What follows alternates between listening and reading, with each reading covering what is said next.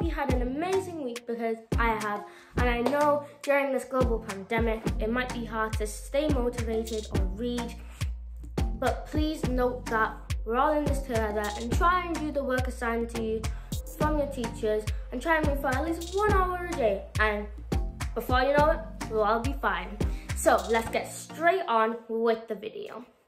As I said I would do last week, I am doing a book, I'm reviewing a book called The Apple Tart of Hope by Sarah Moore. So listen up because I'm going to read a little bit about the book that might um, give you a faint idea of what the book's about. So listen up.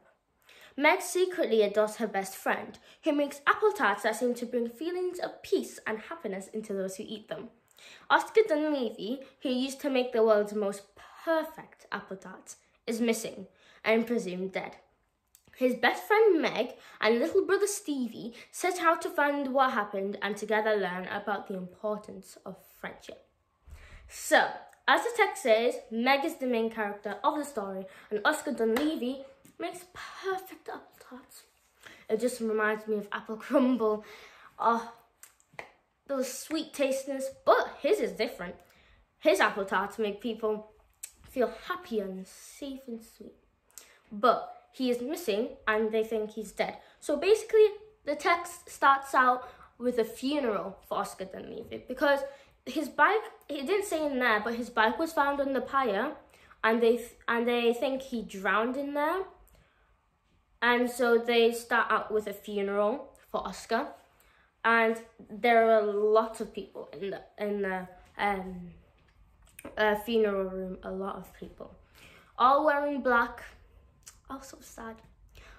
But Meg and Stevie know that Oscar is not dead, and they go and search for him to see where he went and why he went.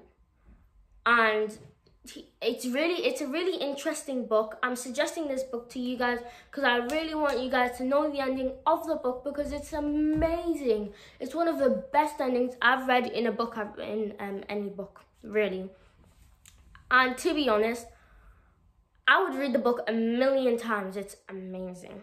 So i really want you go guys to know where he went why he went is he dead is he alive why is his bike at the pyre why um if he if he if he is alive, why did he hide? That's what I was thinking in my head when I was reading, and I needed I needed to know the ending, and I want you guys to know the ending too because it's very very it's a very interesting book. So go and check out uh, um Sarah Moore books on Amazon or anywhere really. So this is the end of my review.